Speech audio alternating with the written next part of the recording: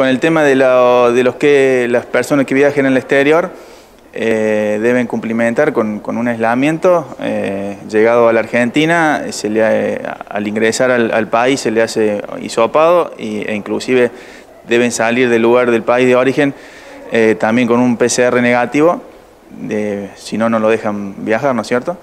Y, bueno, llegado a, a, Belleville se le hace a nosotros migraciones, nos informa las personas que van ingresando al país, este, el cual nosotros hacemos un seguimiento, completamos con sus datos y de dónde, de qué origen están viniendo.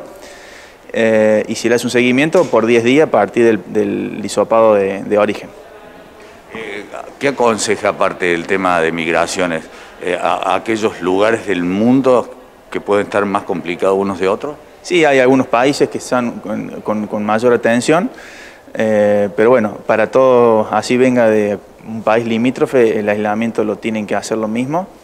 Eh, son 10 días, como te comentaba, y, bueno, se le hace seguimiento y para aquellas personas que viajen tengan en cuenta que lo pueden ser visitados por, por algunas de las fuerzas. Puede ser Gendarmería o Policía Federal, este, para que ellos son los que controlen si están haciendo el aislamiento en el, en el domicilio que han declarado. ¿La gente está colaborando con esto? Sí, sí, eh, no hemos tenido problemas. Este, e inclusive la gente una vez que cumple el aislamiento se le debe realizar también un antígeno por si, bueno, si da negativo sigue con su vida normal y si llega a dar positivo se le realiza un PCR para saber de, qué cepa se, se, trata el, contagio. ¿Desde tu área alguna recomendación a la gente que, que vuelva al país? No, eh, simplemente cumplir con, con, lo, con lo dispuesto por el, por el gobierno y por el Ministerio de Salud, que es los que hoy estamos cuidando.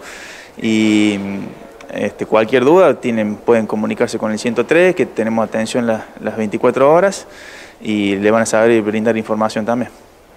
¿Han detectado algún caso positivo de gente que ha vuelto al país, digamos, en ese lapso del PCR al hisopado que se le hace en Argentina?